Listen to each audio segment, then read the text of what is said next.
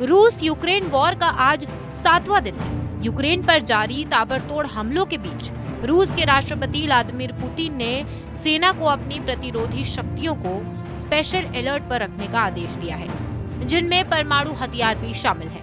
ऐसे में अमेरिकी राष्ट्रपति जो बाइडेन ने लोगों को भरोसा दिलाते हुए कहा है कि चिंता करने की कोई बात नहीं है, क्योंकि पुतिन का ये बयान अनावश्यक और उकसाने वाला है। बता दें कि पेंटागन के प्रेस सचिव जॉन किर्बी ने इस संबंध में पुतिन के बयान को अनावश्यक और उकसाने वाला बताया। उन्होंने कहा कि हम उस घोषणा की समीक्षा और विश्लेषण कर रहे हैं। युद्ध के दिग्गज और सीनेट सशस्त्र सेवा समिति के सदस्य, सीनेटर जॉनी अर्नस ने परमाणु हथियारों पर उनकी टिप्पणी के लिए पुतिन की खिंचाई की। उन्होंने बताया कि ये एक तबाही होगी और ये रूसी संघ का आतंक होगा। दुनिया परमाणु युद्ध को किसी भी सूरत में बर्दाश्त नहीं करेगी। सीनेट सशस्त्र सेवा समिति के रैंकिंग सदस्य सीनेटर जिम इनहोफे ने पुतिन से परमाणु हमले और इस युद्ध को खत्म करने की अपनी धमकियों को वापस लेने की अपील की।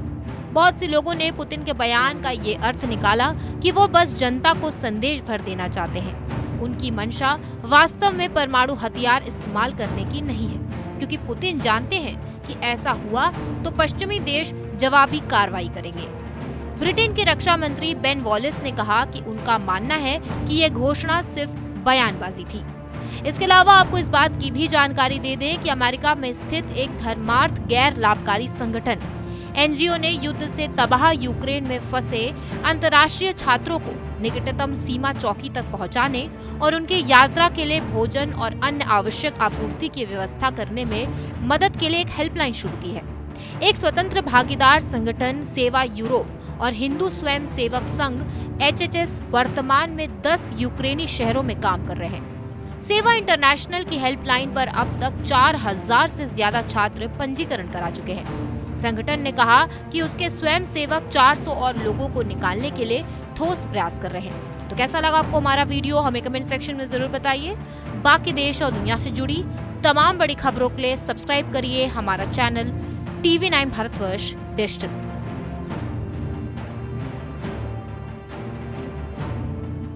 देश बनता है अपने नागरिकों से। ऐसे नागरिक जो अधिकार के साथ कर्तव्य पर भी ध्यान दें।